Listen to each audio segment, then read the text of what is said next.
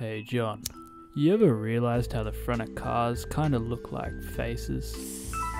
Yeah, McQueen! Gotcha! Man, I love Cars. It has the best music.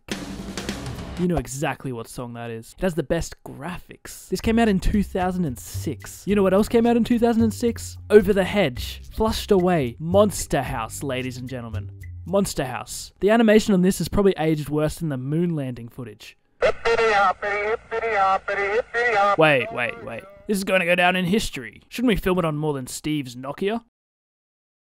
And no other franchise has made movies more relatable about being a literal car than Cars. Cars 1 was all about the importance of slowing down and making connections. Cars 2.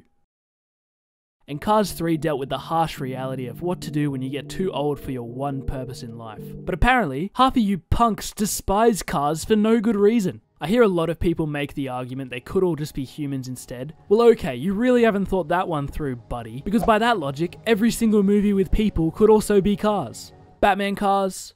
I'm that car. Star Wars cars. I am your car, though. No! Screw it. Fifty Shades of Grey cars. Ah, now I got you thinking. Now, the new show, Cars on the Road, is actually pretty weak. Pixar has lent completely into the fact that our attention spans as a species are now collectively worse than a baby with ADHD in a room full of baby toy salesmen. Every cut is snappy and quick. It never wastes your time on a world building scene or lets you piece together the story like Pixar often allows the viewer to do. One of the main appeals of Pixar, however, is that their animation combine a fun children's movie idea with a tough philosophical adult issue, and masterfully weave the two together but funny car trip 7 minute episodes are essentially broken down into first 2 minutes set up the basic plot, 4 minutes of jokes, then 1 minute leaving the set. And this format allows no time to just slow down and tell any sort of complex story. So what Pixar's done to appeal to adults is they've taken a shortcut. They've filled the show with references to adult movies. The Haunted House episode is like The Shining. The Cave Car episode is animated in stop motion. It does give Pixar a chance to explore a bunch of different possibilities in the car universe. Haven't I always said Mad Max would be good if the main characters were all the actual cars? Haven't I always said that? Yeah,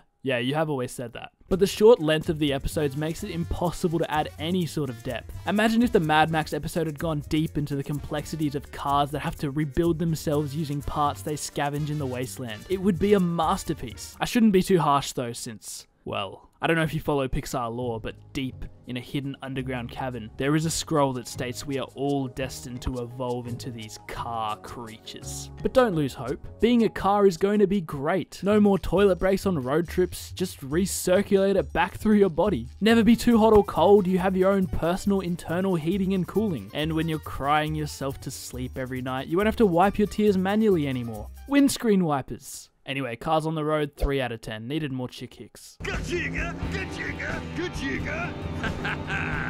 Hey, where you been, McQueen? I've been kind of lonely. Nobody to hang out with. I mean, except the Dinoco folks. Oh, and the twins, of course. You know the twins, are the ones that used to be your fans, but now they're my